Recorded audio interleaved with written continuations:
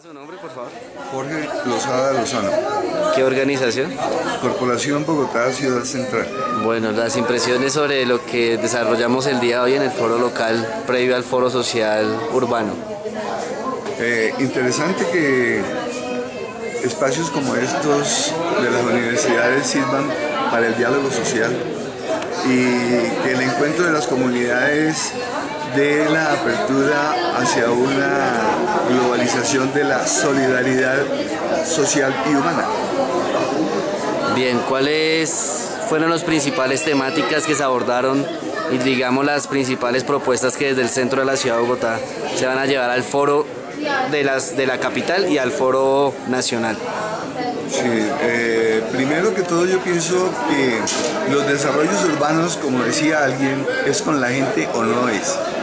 La revitalización, como decía el alcalde Petro, guste a quien les guste, es la, la realidad viviente de la participación y de la, del cumplimiento de la Carta Magna en que estamos, que es la participación ciudadana. Si esto no se da, el desarrollo de la ciudad no tiene sentido.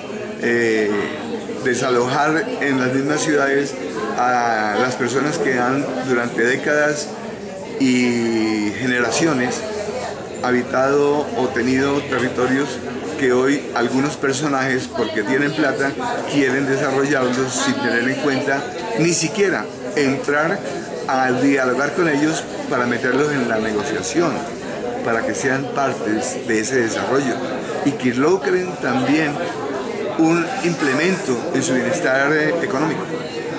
Bueno, el desarrollo territorial se planteó el año pasado con la modificación del POT de manera vertical y principalmente en el centro de la ciudad. Digamos que ustedes como principales actores, ¿qué, ¿cuál fue su opinión respecto a lo que ha surgido desde el año pasado hasta la fecha?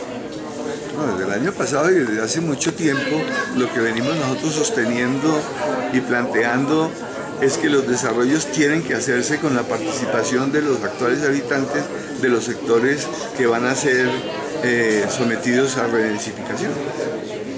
Bueno, ¿y algo más que quiera agregar finalmente?